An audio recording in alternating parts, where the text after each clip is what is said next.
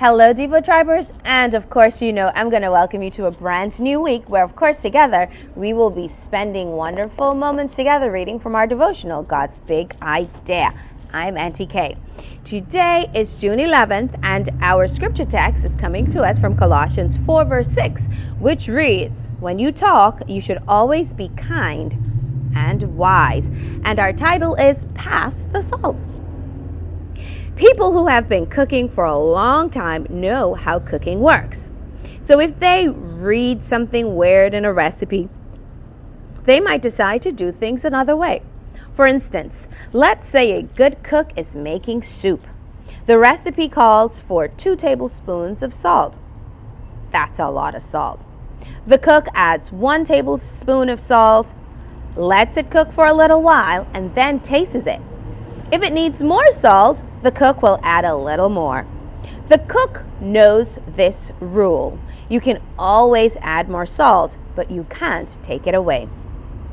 If you ever have eaten a potato chip, you know that salt tastes good. Food that doesn't have salt can be very boring. Would you even bother to eat a potato chip if it didn't have salt on it? Salt makes eating interesting. Here is another version of today's Bible text. Let your conversation be always full of grace, seasoned with salt, so that you may know how to answer everyone. What do you think it means to season your conversation with salt? Perhaps it means that you should not try to be boring. When you talk to other people, think about what they're interested in. Perhaps it means that you should be thoughtful and kind. Be careful not to hurt their feelings. Perhaps it means you should be pleasant, not whining. And remember the cook's rule you can always add more salt, but you can't take it away. Once you say it, you can't unsay it. Think before you speak. When Jesus spoke, his words were seasoned with salt. People crowded to listen.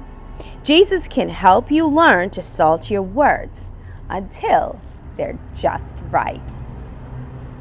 I need that help. And so I'm thankful that Jesus could help me. And guess what? He can help you too. Thank you for spending these moments with me right here on Devo Tribe. I'll see you tomorrow.